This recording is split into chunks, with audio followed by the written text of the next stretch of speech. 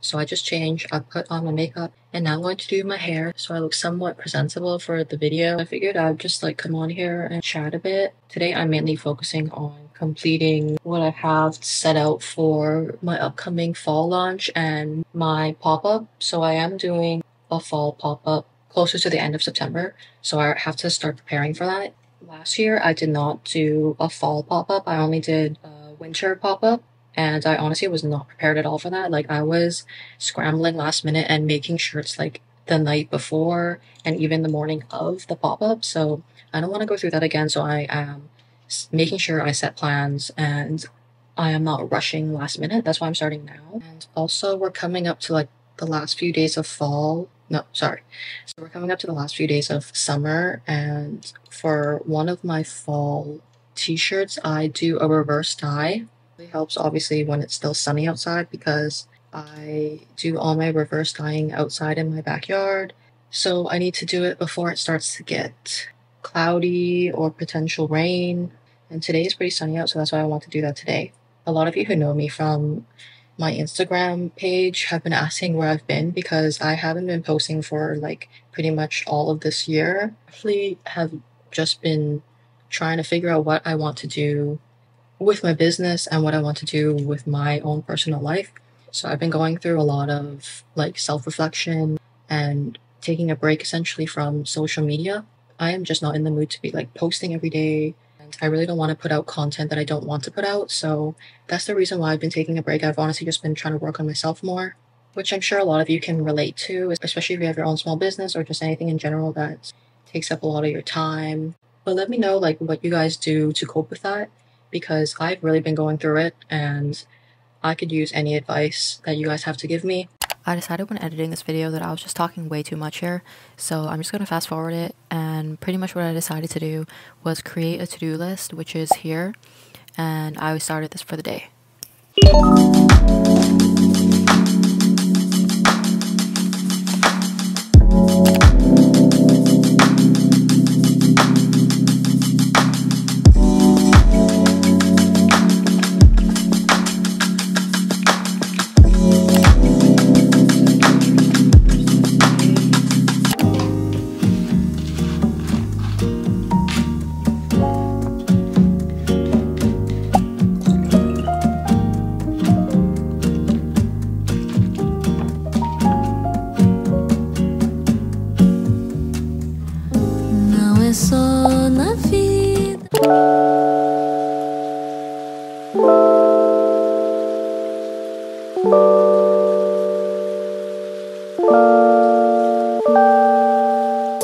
So I'm going to walk you guys through how I reverse dye my shirts. So first I'll take my shirt and crumple it up like this. I don't really have a method for it. I just twist it in an outward motion until it's crumpled into one little circle. Next, I'll take my bleach mix and put it on the shirt in a front to back motion. I make sure to really soak the shirt because I really want the orange to pop out. The more that you put the mixture on it, the more it will turn orange.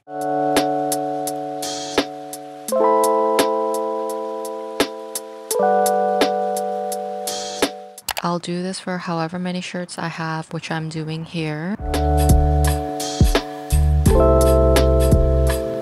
Then I let them sit for 10 minutes and I start a timer. You'll quickly see the shirt turn from black to orange.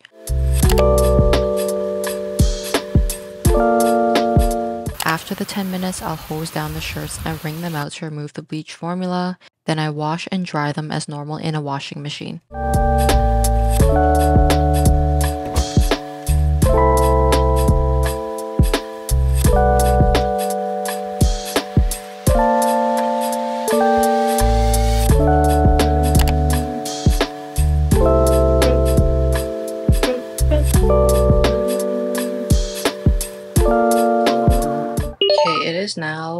Pretty much almost one o'clock now, so I think I spent like two and a half to three hours doing the reverse dye itself. I'm eating my lunch now. This is what I have. That's why I was saying like it takes me so long to do the reverse dyeing process. Like I know that I could speed it up. Like if I actually just laid out all the shirts like on one huge tarp thing, but I don't have that. I'm going to eat first because I am hungry. Then I'm going to probably start working on my orange shirts after that.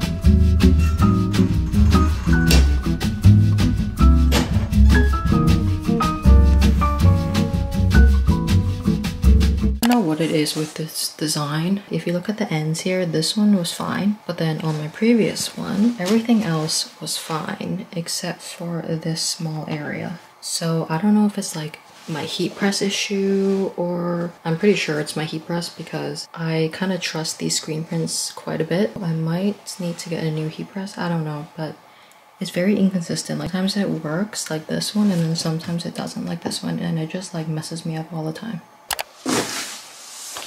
Okay, I think what I'm gonna do now is buy the things that I need for my pop-up. I'm going to just go on Amazon and order the things that I know that I need. So paper bags is one thing and I also need a tablecloth thing.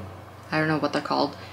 Yeah, I need a tablecloth that um, goes over just the basic table. So what happens at pop-ups, I've only been to one, but this is just from my experience. They give you like one of those foldable tables and they're just very like ugly looking. So people usually cover it with a tablecloth. I'm just going to buy a white tablecloth since white goes with everything in case I have like decorations. I did check already. I already have thank you cards but I also need to buy business cards. So business cards usually I can just buy them from Canva or Vistaprint I'm out of those. I remember last year I didn't bring enough business cards because I actually didn't expect people to buy that much, but they actually did. And so I ran out of business cards like right away on the very first day. So don't make that mistake. Always bring more than enough business cards. You never know how well you'll do at a pop-up market, so bring more than enough business cards, thank you cards, inventoried, all that stuff.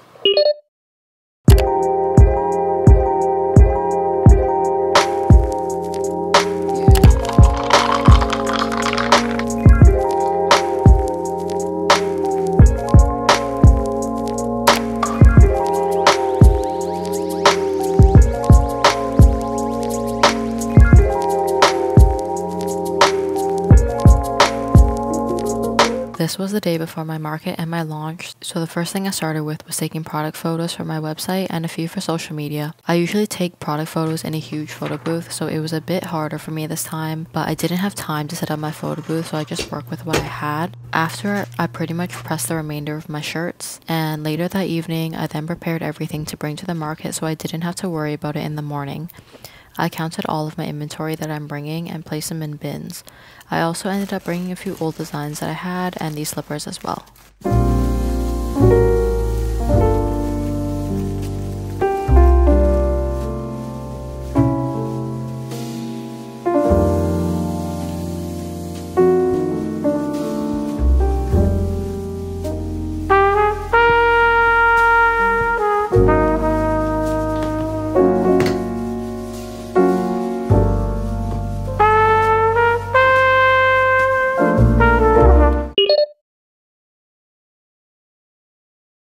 Hey guys, it is currently 7.30 right now. I'm just getting ready for the market today that starts at 10 o'clock.